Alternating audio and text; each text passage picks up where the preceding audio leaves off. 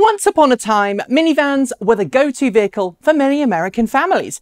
In fact, thinking about it, they were the go-to for many families around the world. Families who were looking for something that could carry a lot of stuff, seat more than five, and had enough room inside them that road trips didn't turn into recreations of National Lampoon's Grand Vacation. But over the years, minivans have fallen out of favour, their boxy, perfunctory forms pushed to the side as families embrace SUVs. And just as minivans replaced the erstwhile station wagon or estate car in many markets, now the minivan is losing market share at an astonishing rate to the SUV.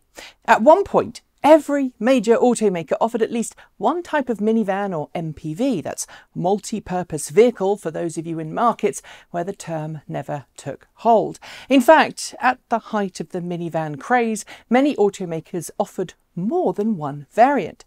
In North America, minivans were traditionally built with rear-wheel drivetrains and large, powerful V6 or V8 engines.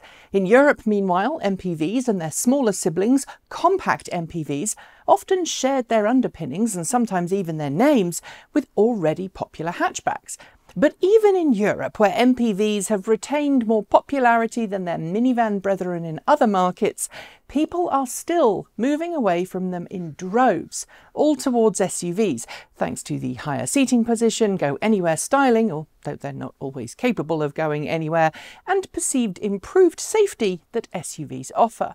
Yet I think the minivan could get a comeback in some parts of the world thanks to its combination of practicality and versatility when you add an electric vehicle drivetrain. I'm going to explain. Don't worry, I'm not going crazy. Well, not really crazy. You see, in Europe at least, MPVs that aren't based on production cars very often share a common platform with commercial vehicles, the kind of commercial vehicles that often end up being used for local delivery companies, or are sometimes customised into small RVs and bespoke work vehicles. And because there's a lot of pressure on businesses to make the switch to cleaner fleets, and there's increasing pressure on automakers to increase their average fuel fleet economies, we're starting to see automakers electrifying medium sized commercial vehicles. Because they've got plenty of space on board for cargo and are larger than your average car, these vehicles are actually pretty good candidates for electrification, especially since it's very easy to build a commercial electric vehicle with enough range to satisfy the daily driving requirements of most daily city delivery routes. Great, I hear you say. But what's that actually got to do with electric minivans? Well, because economies of scale are always going to make electric vehicles cheaper if you make more of them, it's actually beneficial for an automaker producing a commercial electric vehicle like a van to make a passenger carrying variant too, as it expands the marketability of the vehicle. The ENV200 and Renault Kangoo ZE are, of course, two good early examples of that in the electric vehicle world. The ENV200 may have suffered initially when it came to range, although later model years did get a larger battery pack, but it wasn't actually that bad as a family car carrier, with seating for seven and plenty of flexibility. It also drove a little bit like the Nissan Leaf, with a little bit extra weight, but it actually ended up with better battery pack life because Nissan employed air conditioning for the battery pack, something it didn't do for the Nissan Leaf, uh, because it assumed that the commercial ENV200 would get a harder life and be charged quickly more regularly than a passenger car. But this week, Mercedes Benz officially launched its all electric EQV luxury minivan in Europe.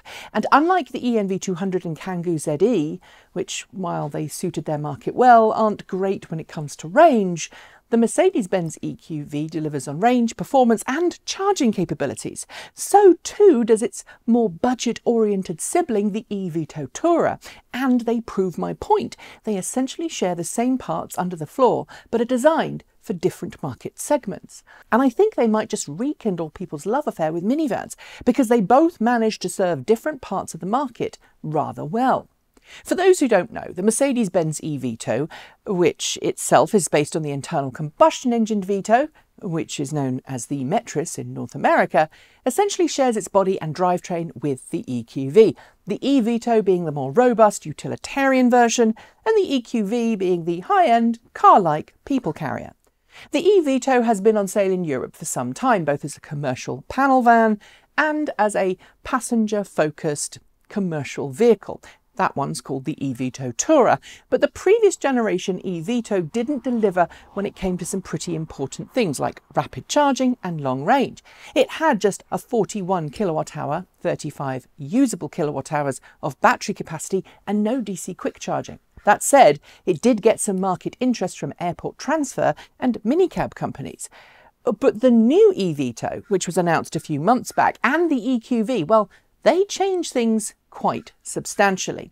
They both have the same 100 kilowatt hours, 90 kilowatt hours usable battery pack, and they both have DC quick charging as standard. They both have 150 kilowatt motors driving the front wheels, which, while it's a bit on the small side if you're talking about premium electric cars, isn't so bad for a large people carrier. They're both available in two different body lengths, and the EQV is available as a 6, 7, or 8 seater with an interior designed for comfort rather than utilitarian functionality. And I think they could certainly capture some market segment for families who favour a van like build over SUVs or other options.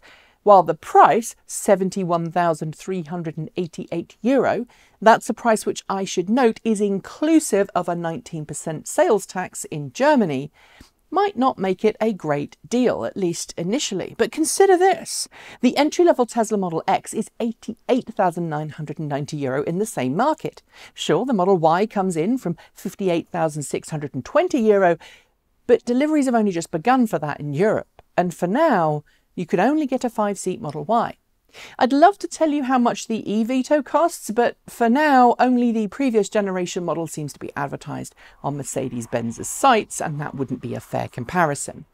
I know that many watching this wouldn't be seen dead in a minivan, but if you haven't driven an electric minivan, you may not know that electrification can really change the way that minivans drive and perform, thanks mostly to the low centre of gravity that a large battery pack low down the floor gives.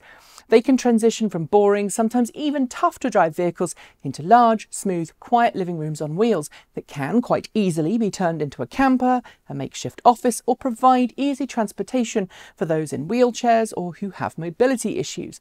They tend to be closer to the road than an SUV, which makes them easier to get in and out of, and they tend to have larger doors too, and they're pretty much ready for anything that you can throw at them, except off-roading.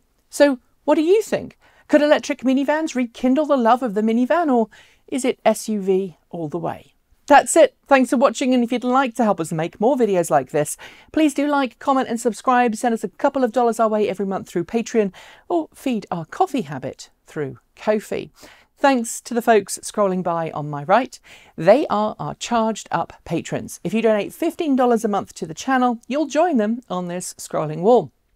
If you donate $50 a month, you'll join Jeffrey Songster, John Lyons, and Regine Fellows as our self driving patrons.